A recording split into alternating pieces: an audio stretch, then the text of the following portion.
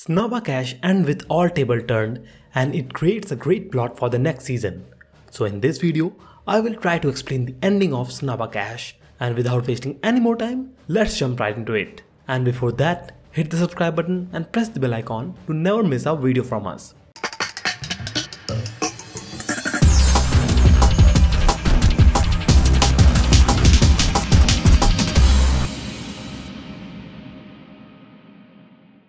The character most like a protagonist is Leah, a widowed single mother and budding tech entrepreneur who finds investment for her startup, Target Coach, in the form of billionaire tech bro composite Thomas Strom. But there's a problem since Target Coach was initially floated on a loan from the unscrupulous Marcus Venner and Stroms want him gone, which requires an amount of capital that Leah can't acquire without dipping her toes into the world of high-stake illegality occupied by her brother-in-law, Ravi, whose loan don't come without strings. Snabba Cash is deliberate in how it charts Leah and Ravi's success on parallel tracks, highlighting similarities even before they begin to more explicitly intersect. That process is hastened along by Leah's falling for, for Salim, a well-intentioned singer who also happens to be Ravi's right-hand man. Neither Leah nor Salim is aware of their shared connection at first, but that doesn't last long as the sixth episode rapidly ratchets up the tension and the sense of impending, inevitable disaster on all fronts. Leah, Salim and off-the-rail white kid named Tim all provide different perspective of how crime, debt, ambition, love and naivete all intertwine, how one bad decision can lead to countless others, and how every bill always has to be paid one way or another. So let's talk about the ending of the show. As the episode starts, Leah learns that Thomas is not some genius but he's a fraud. He circulates money and tries to fool everyone before going public.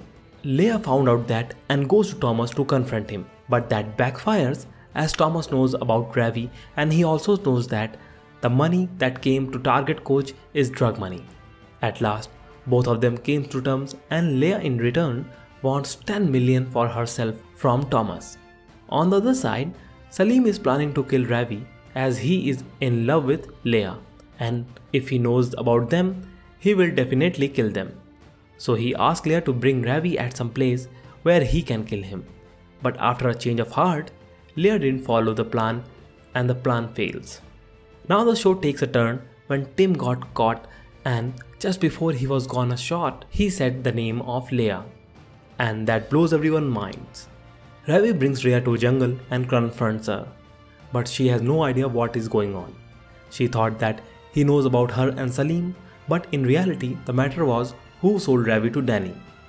At last, Salim came into the light and saved both Tim and Leah's life by saying that he was the one who sold them out, and he was the rat, because he wants to get out of the crime world. But in return, Ravi shoots his right hand man in the eye and forces Tim to accept that he killed Salim. But now the table have turned as when Marco calls Ravi and he saw Leah there. As we know, Ravi owed Marco some money and he is in his debt. And when he came, Marco told him that his loan is paid off by Leah and now Ravi owes her 5 million crowns. And she is off the table. That means Ravi can't hurt her. That came a bit of twisty at the end as Leah goes direct to the big guns and clears Ravi's debt to put him under his debt. As for the no untouchable things, I guess she paid Marco some extra money for the protection of herself and her family.